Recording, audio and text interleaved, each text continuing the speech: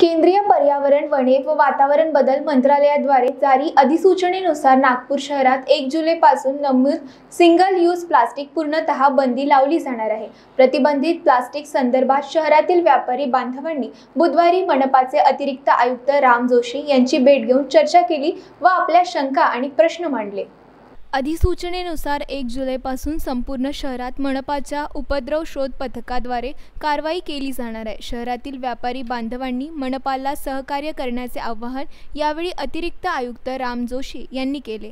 मनपा आयुक्त सभाकक्षात झालेल्या चर्चेदरम्यान मुख्य अभियंता प्रदीप खवले उपायुक्त तथा घनकचरा व्यवस्थापन संचालक डॉक्टर गजेंद्र महल्ले उपद्रव शोध पथक प्रमुख वीरसेन तांबे महाराष्ट्र प्रदूषण नियंत्रक मंडळ नागपूरचे उपप्रादेशिक अधिकारी उमाशंकर भांदुले क्षेत्र अधिकारी किशोर पुसतकर यांच्यासह कपडा मार्केट असोसिएशन हॉटेल असोसिएशन आणि अन्य व्यापारी बांधव उपस्थित होते.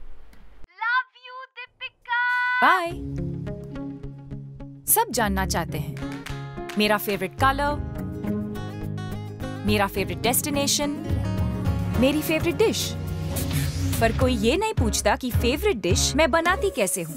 अरे यार, जिसे टेस्टी खाना पसंद है, वो अच्छे टेस्ट तक पहुँच ही जाता है।